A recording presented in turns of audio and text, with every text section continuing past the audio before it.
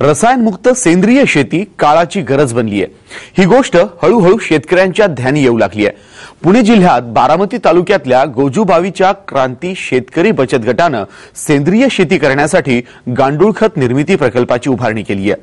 गावातले चारशे शेतकरी गटात आहेत तर वीस शेतकऱ्यांनी प्रत्यक्षात सेंद्रिय शेतीला सुरुवात केली आहे. या कामात त्यांना कृषी विभागाबरोबरच बारामतीच्या टीसी कॉलेजचे वनस्पती शास्त्राचे प्राध्यापक डॉक्टर भगवान माळी यांचं मार्गदर्शन मिळतंय. आज आपण क्रांती बचत गटाच्या गांडूळ खत प्रकल्पाची यशोगाथा जाणून घेण्यासाठी गोजूबावीला जाणार आहोत. पुणे जिल्ह्यात कॅनॉल इरिगेशन असलेल्या भागात पाणी आणि रासायनिक खतांच्या अतिवापरामुळे जमिनी क्षारपड झाल्या आहेत. बारामती तालुक्यात शारपड जमिनींचा प्रश्न मोठा होऊ लागलाय. क्षारपड जमिनीच्या समस्येवर रासायनिक खतांचा वापर टाळून सेंद्रिय शेती करण्याचा उपाय कृषी विभागामार्फत सांगितला जातोय. बारामतीपासून आठ ते दहा किलोमीटरवर असलेल्या गोजूबावीमध्ये सुद्धा आता सेंद्रिय शेतीबद्दल जागरूकता होऊ लागली आहे अनेक शेतकरी पुढे येत आहेत. ही गोष्ट लक्षात घेऊन कृषी विभागानं दीड वर्षांपूर्वी गावात वीज बचत गटांची स्थापना केली. या गटात पुरुष आणि महिलांचा समावेश आहे. गटातल्या शेतकऱ्यांना पैशांच्या बचतीबरोबर सेंद्रिय शेतीबाबत मार्गदर्शन करणं सुरू झालंय. माझ्या गटात वीस शेतकरी आहेत पैकी आठ महिला आणि बारा पुरुष शेतकरी आहेत. आम्ही दर गुरुवारी आमचे कृषी सहाय्यक शिंदे साहेब गावात येतात. आम्ही दर गुरुवारी त्या मिटिंगला जातो. आणि त्या मीटिंगमध्ये शेतीविषयी आपल्याला नवनवीन काय प्रकल्प राबवता येतील नवनवीन काय योजना तयार करता येतील का याच्यावर अगदी सविस्तर आम्ही चर्चा करतो आणि त्याची प्रत्यक्ष अंमलबजावणी शेतात येऊन करतो. सेंद्रिय शेती करण्यासाठी सेंद्रिय खत निर्मिती गरजेची आहे. हे सेंद्रिय खत विकत घेण्यापेक्षा गांडुळांच्या मदतीनं घरीच बनवलं तर जास्त फायद्याचं ठरतं. यासाठी गावातल्या शेतकऱ्यांना गांडूळ खताचे बेड कसे बनवायचे याचं प्रशिक्षण दिलं जातंय. बारामतीच्या टी सी कॉलेजच्या वनस्पती शास्त्र विभागाचे प्राध्यापक डॉक्टर भगवान माळी शेतकऱ्यांना गांडूळ खत निर्मितीचं प्रशिक्षण देत आहेत. गांडूळ खत प्रक प्रकल्प लावत असताना ती अतिशय सोपी पद्धत आहे. पाहिलं तर फक्त त्याच्यासाठी आपल्याला दीडशे भाजी विटा लागतात. जर असेल चांगल्या पद्धतीचं शेड किंवा साध्या आपल्या गवतापासून जरी केलेलं शेड असेल गवताच्या ह्याच्यापासून मेडी वगैरे लावून तरी ते सुद्धा शेड चालतं. आणि ज्या शेडमध्ये ज्याची जमीन आहे ती फक्त कठीण असली पाहिजे. किंवा कोबा केलेली असली पाहिजे. आणि तेही नसेल तर साधा प्लास्टिकचा कागद आपण त्याच्यावरती अंतरला तरी चालतो. आणखीन आपल्याकडे शेणखत असतंय पालापाचोळा असतंय या सगळ्या गोष्टीचा वापर करून आपण अतिशय उत्तम प प्रतिचा उत्तम पद्धतीचा गांडूळ खत प्रकल्प निर्मिती असा एक प्रकल्प लावू शकतो. गांडूळ खत निर्मितीची प्रक्रिया फारशी खर्चिक नाहीये. यासाठी विटा छोटस शेड पालापाचोळा आणि गांडूळ बीजाची आवश्यकता असते. दर गुरुवारी बचत गटाची शेतीशाळा गावात भरते. तिथून शेतकरी शिवार फेरी काढतात. यावेळी शेतकऱ्यांच्या समस्यांवर चर्चा होते. तर माहितीची देवाणघेवाण सुद्धा केली जाते. डॉक्टर भगवान माळी शेतकऱ्यांना गांडूळ खतांचं बेड कसं बनवायचं याची माहिती देतात. तीन फूट रुंद पंधरा फूट लांब आणि दोन ते दीड फूट खोल अशा पद्धतीचा आयताकृती बॉक्स आपण तयार करून घ्यायचा भाजी विटांचा तो घेतल्यानंतर पहिला थर जो आहे सहा इंचाचा किंवा ज्याला आपण एक एक विता वितीचा म्हणू तो सहा इंचाचा थर हा पाला पाचोळ्याच्या त्या बॉक्समध्ये खाली टाकायचा. टाकल्यानंतर त्याच्यावरती पाणी शिंपडायचं बऱ्यापैकी ओला करून घ्यायचा. आता हा ओला करून काय का घ्यायचा?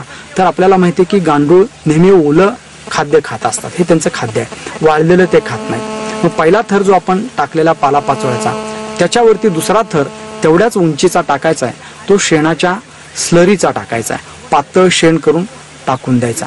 तो टाकल्यानंतर त्याच्यावरती आपल्याला आपण जे आणलेले एक किलो गांडूळ आहेत म्हणजे तीन बाय पंधरा आणि दोन फूट खोल अशा पद्धतीच्या गांडूळखत प्रकल्पासाठी त्या एक किलो गांडुळाचे चार भाग करायचे. त्यातला एक भाग घ्यायचा आणि तो शेणाच्या स्लरीमध्ये पसरून टाकायचा. तो टाकल्यानंतर पुन्हा त्या थरावरती वाळ वाळलेला कुजलेला पालापाचोळा टाकायचा. पुन्हा तो पालापाचोळा भिजवून घ्यायचा पाणी टाकून. भिजल्यानंतर पुन्हा त्याच्यावरती शेणाच्या तेवढ्याच उंचीचा थर द्यायचा. पुन्हा त्याच्यामध्ये गांडुळाचा आपण जे चार भाग केले त्यातला आणखीन एक भाग घ्यायचा राहिलेला तीन मधला. आणि तो त्याच्यावरती टाकायचा. अशा पद्धतीनं एकाआड एक म्हणजे पहिला थर आहे तो आपल्या वाळलेला पालापाचोळा कुजलेला पालापाचोळा त्याच्यानंतर शेणाच्या रबडीचा. त्या शेणाच्या रबडीमध्ये मात्र गांडूळ टाकण्याचं विसरायचं नाही. अशा पद्धतीनं आपण एकाड एक चार थर टाकले. तर तो पूर्णपणे आपण तयार केलेला भाजी विटांचा जो बॉक्स आहे तो बॉक्स भरला जातो. तदनंतर मात्र त्याच्यावरती आपण जे गोंडपाट किंवा साखरेची पोती असतात ती भिजवलेली पोती त्याच्यावरती हंतरून द्यायची. गेल्या दीड वर्षांपासून सुरू असलेल्या शेतीशाळेच्या उपक्रमाला आता गावकऱ्यांचा चांगला प्रतिसाद मिळतोय. कृषी विभागाच्या मदतीनं गावातले शेतकरी मोठ्या संख्येनं एकत्रित येतात. त्यांना तज्ज्ञांकडून मार्गदर्शन मिळतंय. गोजोबाईमध्ये दर आठवड्याला शेतकरी गटांची मीटिंग. आमच्या इथं साधारण बावीस शेतकरी गट झालेत. म्हणजे एकूण चारशे चाळीस लोकांना मी जोडलो गेलोय. आणि त्यातले साधारण अध्यक्ष आणि सचिव यांनाच मी दर आठवड्याला बोलवत असतो.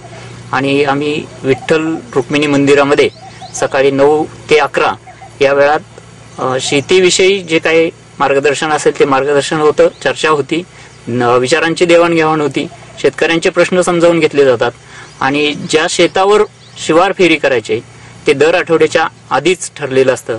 आणि आम्ही एकत्रितपणे शिवार फेरी करून माहितींची देवाणघेवाण करत असतो. दिवसेंदिवस जमिनीचा पोत खराब होत चाललाय.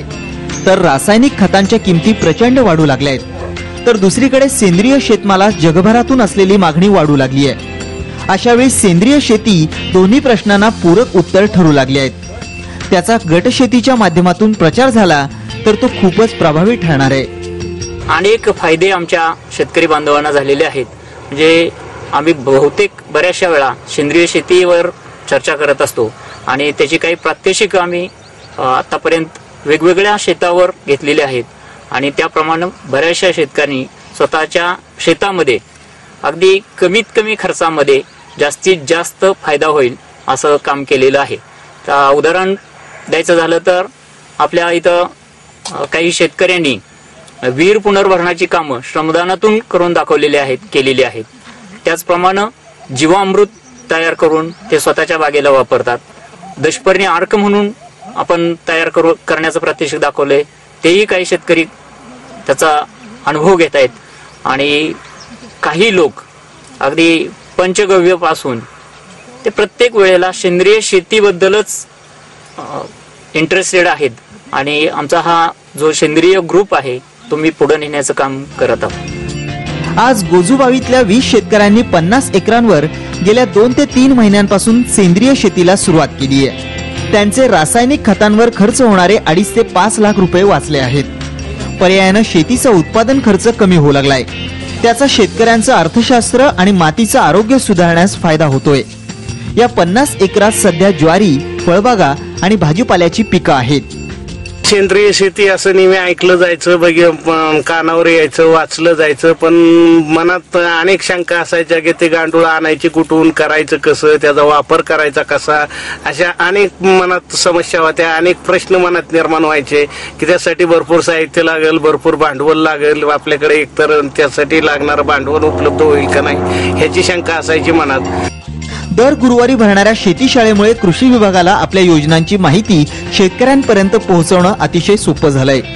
तसंच शेतकऱ्यांना सुद्धा आपल्या प्रश्नांची उत्तरं एकाच ठिकाणी मिळू लागली आहेत. आमच्याकडे दर गुरुवारी शेतीशाळा भरवली जाते आणि त्या शेतीशाळेच्या उपक्रमातून प्रत्येक शेतकऱ्याच्या शेती जाऊन प्रत्यक्ष त्याच्या वावरात जाऊन त्यांनी घेतलेली पिकं त्याच्यावर चर्चा केली जाते.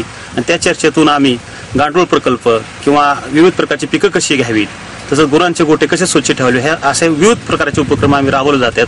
पूर्वीपासून गाव आमचं हे गवंड्याचं गाव म्हणून म्हणलं जात होतं. पण आता इथून पुढे आमच्या गावचा एकही आता गवंडी होणार नाही. प्रत्येक माणूस आता शेती अतिशय उत्तम पद्धतीने करायचा प्रयत्न करीत आहेत आणि कृषी विभागाने अतिशय चांगला उपक्रम राबवलेला आहे. बारामती तालुक्यात गोजूबावीच्या शेतकऱ्यांनी आपल्या जमिनीचं आरोग्य आणि शेतीचं अर्थकारण सुधारण्यासाठी बचत गटाच्या मदतीनं सेंद्रिय शेतीच्या दिशेनं पाऊल टाकायला सुरुवात केली आहे. आज त्यांनी सुरू केलेला सेंद्रिय शेतीचा प्रयोग बारामती परिसरातल्या गावांना नक्कीच मार्गदर्शक ठरणार आहे. विजय मोरे साम टीव्ही बारामती.